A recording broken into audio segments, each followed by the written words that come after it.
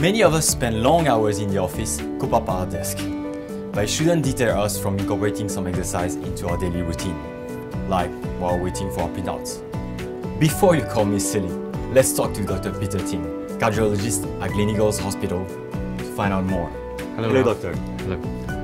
An easy exercise like jumping jacks is good to get your heart rate up. Doing this exercise in a regular, sustained way can help fight against heart disease and stroke, and even strengthen your core muscles.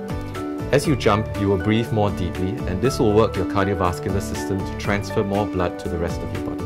So, doctor, tell me, is it true that there are various stages of heart disease, and contrary to popular belief, surgery is not always the answer?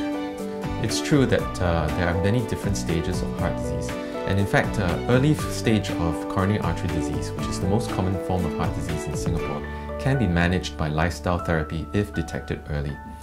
We don't always need to treat with medication or surgery in such cases. While many other forms of heart disease, especially at a later stage, will need to be treated with surgery, um, people can start taking care of their hearts right now by observing these few pointers.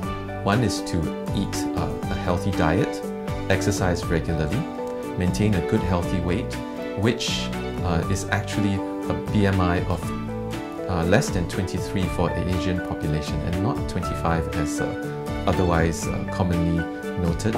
And finally, also to have uh, early health screening if necessary.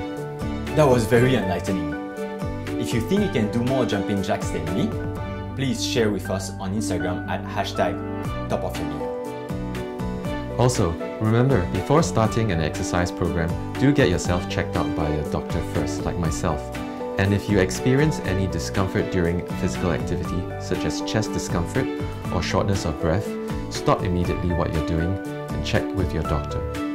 So remember, if you feel confident about what you're doing and have been certified fit by your doctor, um, remember to uh, take it easy and go slowly and build up on your initial success. Good luck.